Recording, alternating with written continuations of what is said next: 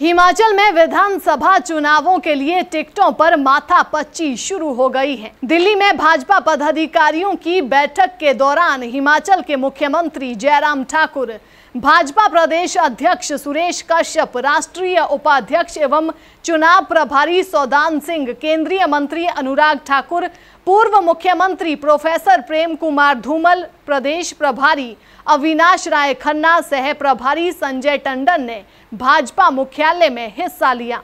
भाजपा के अंदर इस बार हिमाचल विधानसभा चुनाव में टिकटों के ऐलान से पहले नई नई चीज़ें देखने को मिल रही हैं। राज्य में पाँच साल से सरकार चला रही भाजपा में प्रत्याशियों को लेकर इतनी ज़बरदस्त उलझन है कि पार्टी हाईकमान ऐसा कुछ करवाने पर मजबूर हो गया जो 40 साल में कभी नहीं हुआ। पार्टी ने राज्य की सभी अड़सठ सीटों पर रविवार को अचानक गुप्त मतदान करवाया। भाजपा हाईकमान ने इसके लिए दिल्ली से हेलीकॉप्टर में मतपेटियाँ भेजी और वोटिंग के तुरंत बाद वापस दिल्ली मंगवा ली।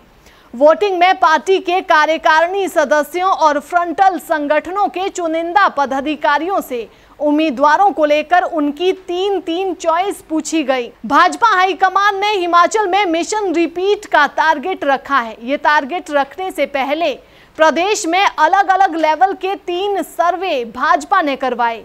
इनमें से पहला सर्वे एक प्राइवेट फर्म से करवाया गया। दूसरा सर्वे पार्टी ने अंदरूनी लेवल पर खुद किया।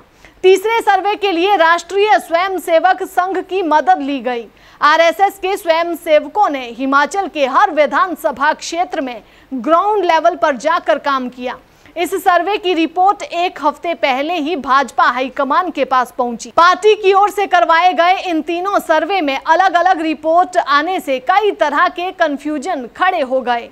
ऐसे में आखिरी मौके पर पार्टी के कार्यकारिणी सदस्यों और फ्रंटल संगठनों के चुनिंदा पदाधिकारियों से उम्मीदवारों को लेकर उनकी तीन तीन चॉइस पूछने का फैसला लिया गया। भाजपा हाईकमान के पास अलग अलग लेवल से जो फीडबैक पहुँची है, उसमें लोअर हिमाचल के दो दर्जन से ज़्यादा विधायकों और चार मंत्रियों की रिपोर्ट नेगेटिव है।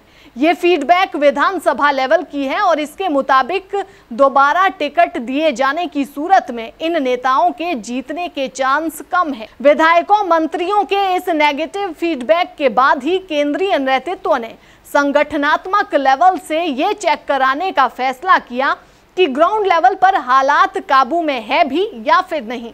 वर्ष 2017 के विधानसभा चुनाव में लोअर हिमाचल से जीतने वाले डेढ़ दर्जन विधायक ऐसे हैं जिनकी जीत का मार्जिन 500 से लेकर 2000 वोटों के बीच था। पाँच साल की एंटी इनकम्बेंसी के चलते इन सीटों पर आँख मूंद कर उन्हीं चेहरों को टिकट देने का चांस लेना समझदारी नहीं होगा।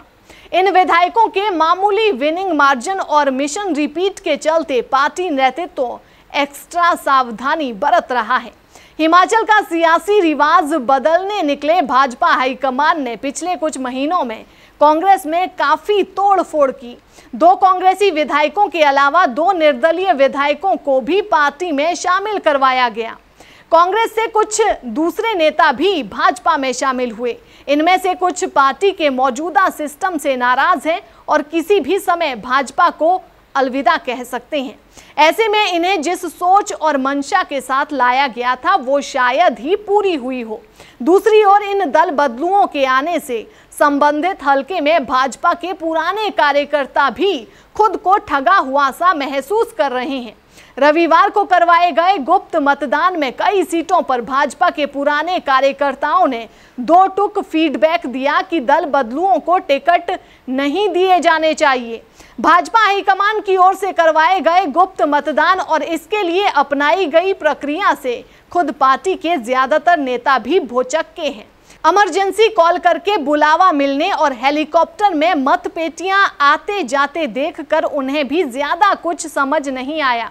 हिमाचल के पड़ोसी राज्यों हरियाणा और उत्तराखंड में भाजपा सरकार रिपीट करने में सफल रही है। हालाँकि हिमाचल की परिस्थितियाँ अलग है, इसीलिए हाईकमान यहाँ के मतदाताओं और पार्टी के ढांचे को अलग ढंग से समझ रहा है।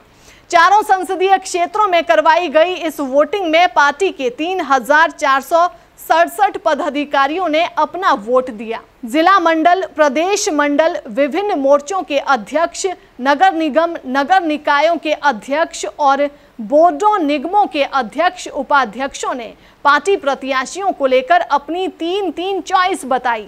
आज दिल्ली में भाजपा की इलेक्शन कमेटी की बैठक में इसको लेकर चर्चा हुई। मतदान के दौरान विधानसभा वाइज कौन कौन से नाम टॉप पर आए, इसे गुप्त रखा गया है।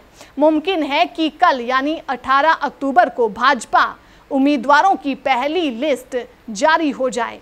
बैठक में प्रभारी देवेंद्र सिंह राणा, भाजपा के पूर्व अध्यक्ष डॉक्टर राजीव बिंदल, सतपाल सत्ती, महासचिव त्रिलोक कपूर, राकेश जमवाल, त्रिलोक जमवाल, राज्य संगठन सचिव पवन राणा और महिला मोर्चा अध्यक्ष रश्मिधर सूद भी मौजूद रही।